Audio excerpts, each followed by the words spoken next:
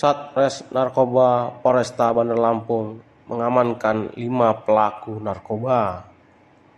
Kapolresta Bandar Lampung, Kombes Pol Abdul Waras mengatakan pihaknya mengamankan lima pelaku penyalahgunaan narkoba pada periode 24 Agustus tahun 2024 sampai dengan 5 September tahun 2024. Adapun pelaku tersebut yakni Verlano Arif Gunawan yang merupakan warga Kelurahan Sawah Brebes, Kecamatan Tanjung Karang Timur, Kota Bandar Lampung.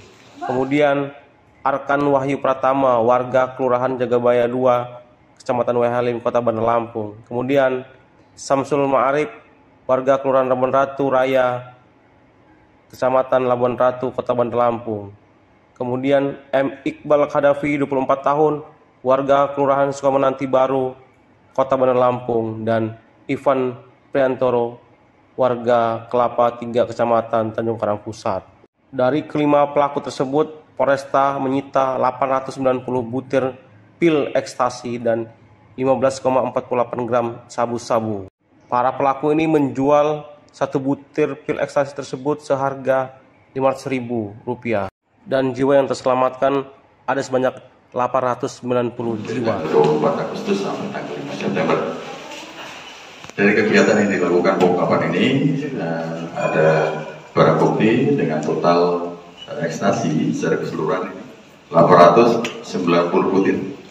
Kemudian ada sabu yang diamankan juga ada 15,48 gram.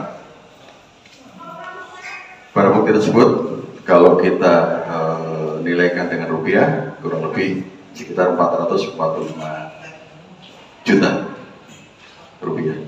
Kemudian uh, perlu kami sampaikan dari pengungkapan ini yang pertama pada tanggal 24 Agustus hari Sabtu uh, sekira 0, pukul 01.30 di sebuah rumah jalan gang masjid ya, yang beralamatkan di Jalan Sultan Agung, Kelurahan Kegaton, pada Lampung ini diamankan dari tersangka FAG bin SB dengan barang bukti satu plastik klip berisi 100 butir pil ekstasi warna hijau kemudian satu plastik klip berisikan 110 butir pil ekstasi uh, berwarna hijau juga kemudian satu plastik klip berisikan 100 butir pil ekstasi uh, warna hijau juga. Kemudian dua plastik klip berisikan 50 butir pil ekstasi warna coklat dan uh, dua plastik klip berisikan pecahan pil ekstasi warna hijau dengan berat 26,66 gram.